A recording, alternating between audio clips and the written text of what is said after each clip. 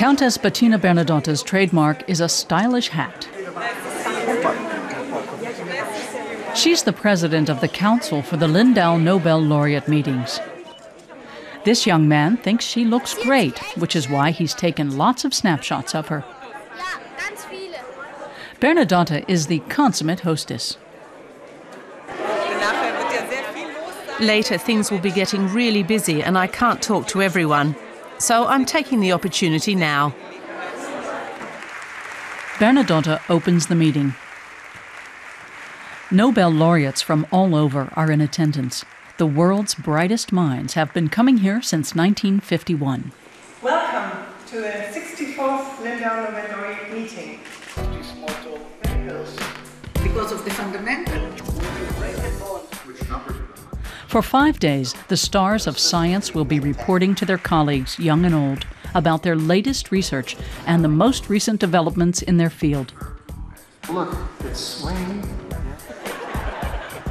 The atmosphere is friendly but focused. This year's Lindau meeting is concentrating on medicine. Countess Bernadotte organizes the prize winners for a group photo. It's funny, but I've never met a Nobel laureate who expected people to treat him or her with awe. All the prize winners I've met are inquisitive, curious, and dynamic people with a good sense of humor. The Countess has had lots of contact with scientists ever since her father started the Nobel meetings. Laureates from other disciplines are also in Lindau this year.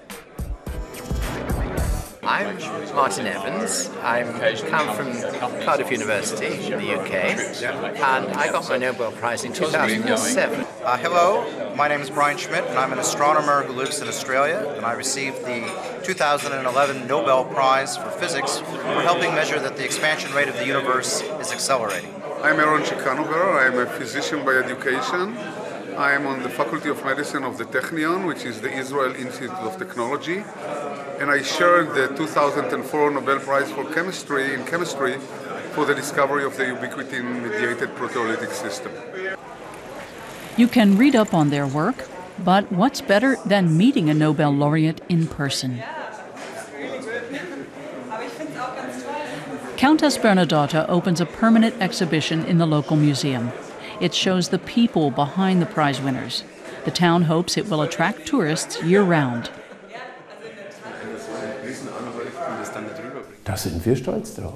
Of course, we're proud. Who wouldn't be? Next to Stockholm, we're the place that brings more Nobel laureates together each year than anywhere else in the world. Especially popular are the small groups where laureates discuss everyday problems, like being a successful woman in a world still dominated by men. A topic Countess Bernadotte knows a thing or two about herself.